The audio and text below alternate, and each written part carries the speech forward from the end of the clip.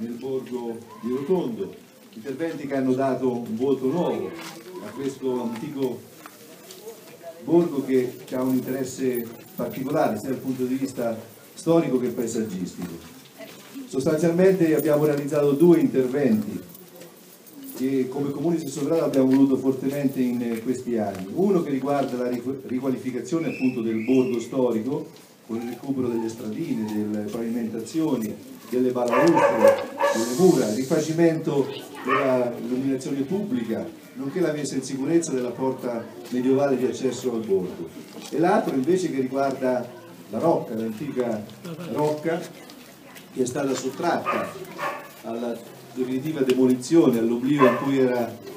lasciata in questi ultimi anni ed è stata recuperata, messa in sicurezza e oggi è una torre panoramica importante, fruibile a tutti.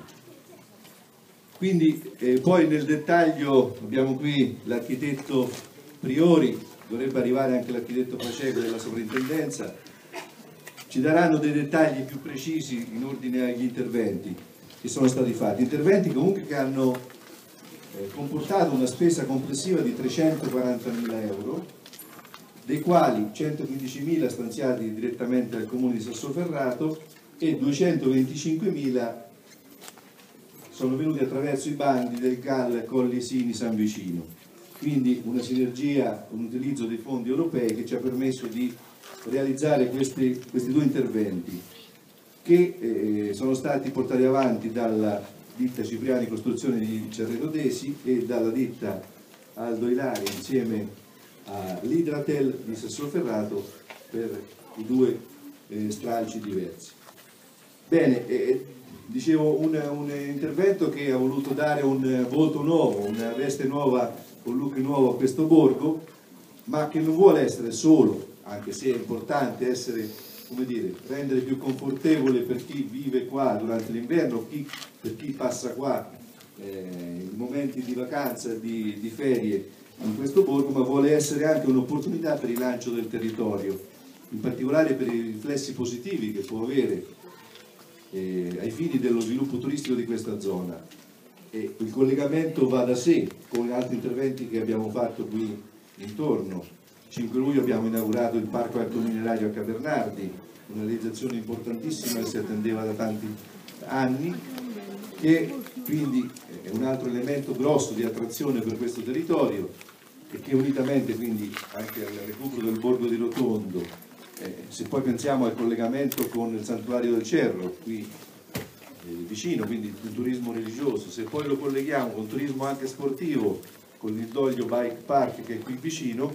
ecco che quest'area si configura come un'area di grande attrazione. Ecco, quindi abbiamo posto in qualche modo le basi per uno sviluppo nuovo per questo territorio che ha vissuto in passato momenti importanti, eh, felici, eh, di ricchezza per l'attività che c'era in questo territorio, oggi può vivere una nuova stagione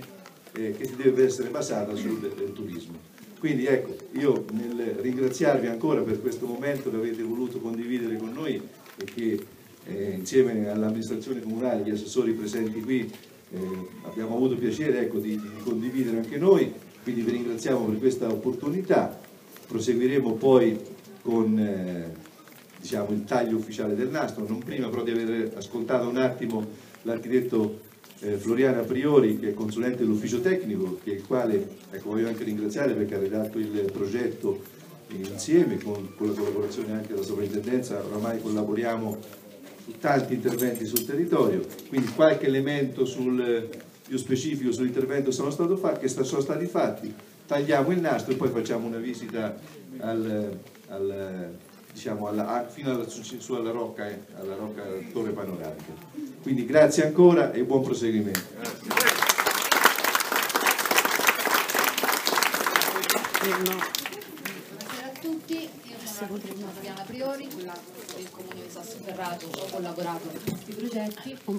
Eh, qualche dettaglio tecnico ve lo do soprattutto sulla Rocca perché per quanto riguarda il borgo gli interventi fatti credo che siano evidenti, visibili e le motivazioni anche, si è ripristinato il muraglione che esisteva anticamente che poi in alcune manutenzioni poco felici si era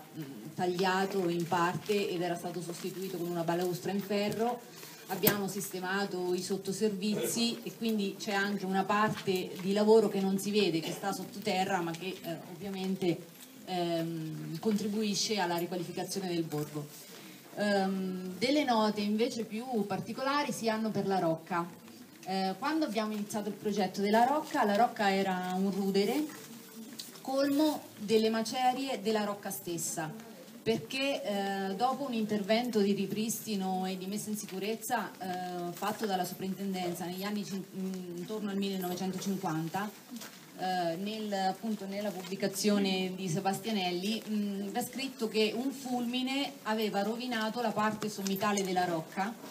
e eh, l'amministrazione poco illuminata di allora, non come quella attuale, wow. eh, di Sassoferrato scelse eh, di, siccome la rocca era pericolante e creava un, un, pericolo per le abitazioni circostanti, scelse, siccome non aveva probabilmente eh, le somme per la messa in sicurezza, la, la fece demolire in parte però buttando le macerie all'interno della rocca stessa e questo negli anni ha provocato un grande, un grande problema perché con eh, la, le piogge, eh, le radici degli alberi che erano nati all'interno, questo comport- aveva comportato l'esplosione delle murature esterne della rocca stessa. Eh, con questa situazione all'inizio del progetto insomma eh, il tentativo era stato quello soltanto del data anche la somma esigua che avevamo a disposizione di svuotare la rocca e lasciare eh, diciamo, la torre poligonale così com'era. Eh, invece poi durante il proseguimento dei lavori tra l'altro assistiti dalla dottoressa Pamela Damiani per, per la sovrintendenza, abbiamo eh, innanzitutto verificato che un muraglione che era mh, pressi della rocca e che pensavamo facesse parte della stessa struttura muraria non ne faceva parte e quindi abbiamo avuto un'economia diciamo, da quella, da, messa, dal restauro di quel muraglione che non è stato necessario restaurare perché probabilmente era soltanto un muro di cinta di qualche di qualche appezzamento di terreno.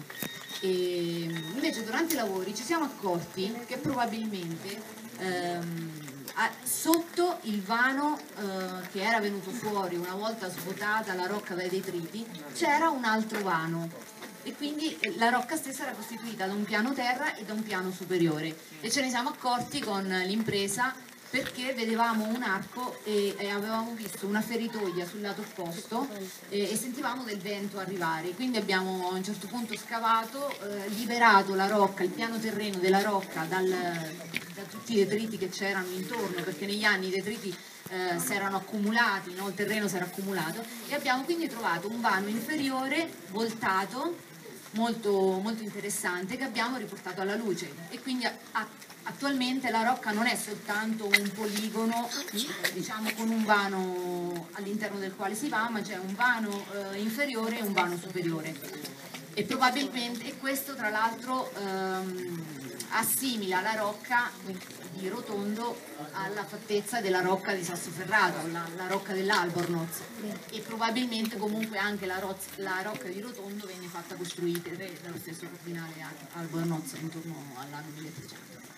Ehm, per quanto riguarda poi la, il recupero delle murature, si è recuperato tutto il pannello murario, si è ricostruito una parte della cresta muraria con una copertina in calcestruzzo ben impermeabilizzata in modo tale che non riescano più eh, gli agenti, né gli agenti atmosferici né tantomeno eh, diciamo, i semi delle, degli alberi ad attecchire per poi diciamo, rovinare nuovamente la muratura. Ehm, abbiamo a un certo punto eh, pensato di costruire la scala all'interno e una passerella per ribadire il concetto di torre di, di, avvistamento. Cioè una volta che avevamo ripristinato la torre così com'era, con il vano eh, accessibile,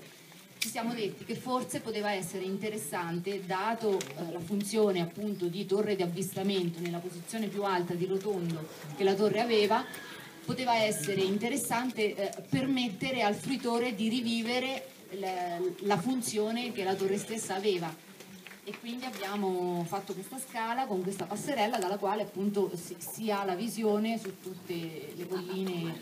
che ci sono insomma intorno a Rotondo. Basta, questo... Brava. Grazie.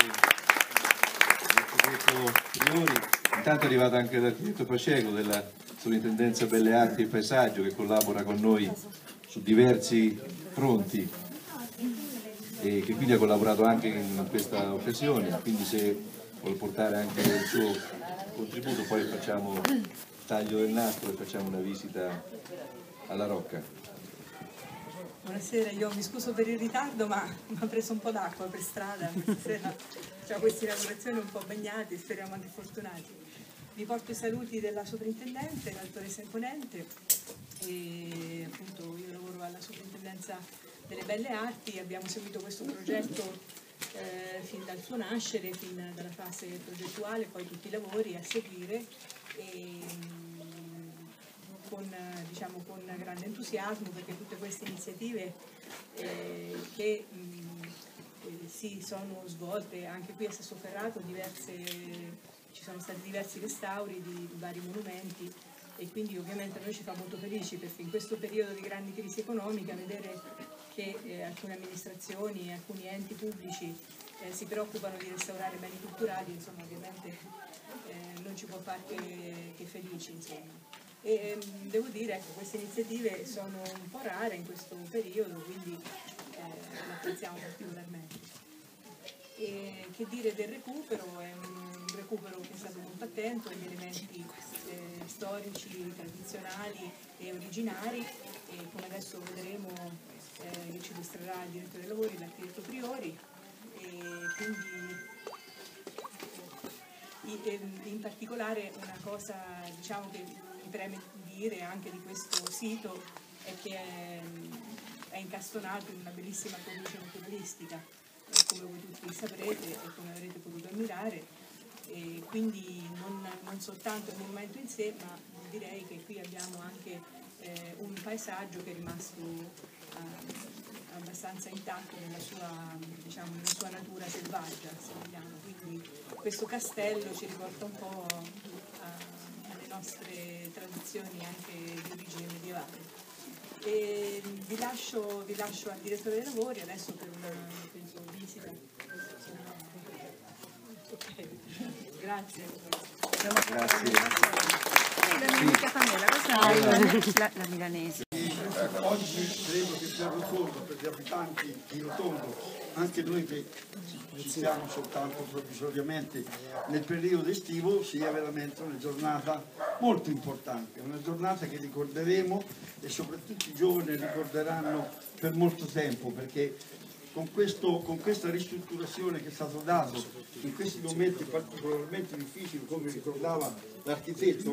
e quindi noi sentiamo veramente il dovere di ringraziare l'amministrazione, l'architetto,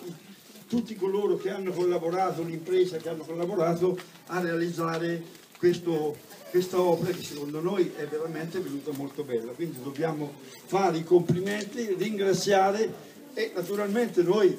ci fa particolarmente piacere anche se questo, questo diciamo, lavoro lo abbiamo aspettato per tanti anni, però io credo che io lo capisco, io, più gradito ancora. Quindi di nuovo tanti ringraziamenti al sindaco, alla giunta e tutti coloro che hanno collaborato per questo. Grazie a tutti e proseguiamo. Grazie.